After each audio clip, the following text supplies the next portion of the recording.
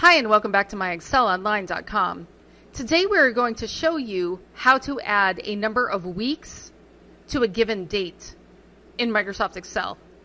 So by the end of this video, you should be able to take a date and add a number of weeks to that date and get a new date right here in cell C2.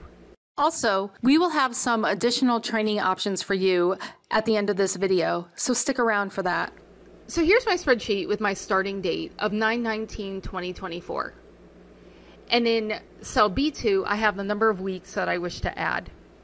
So right in C2, I'm going to type equals, and I'm going to click on the date I have right here in cell E2.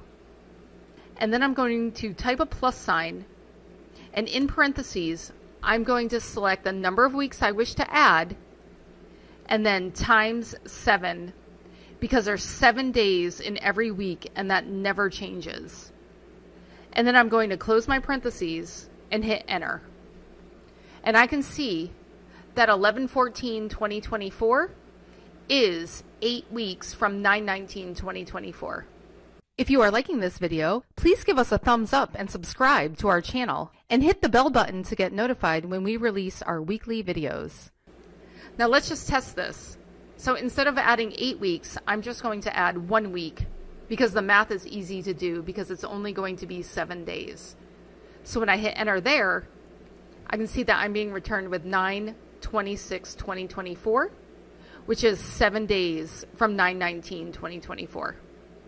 So we go into some other information on adding weeks to a date out on our blog. And I'm going to include a link to that blog entry in the description below on YouTube if you would like to go there and learn more.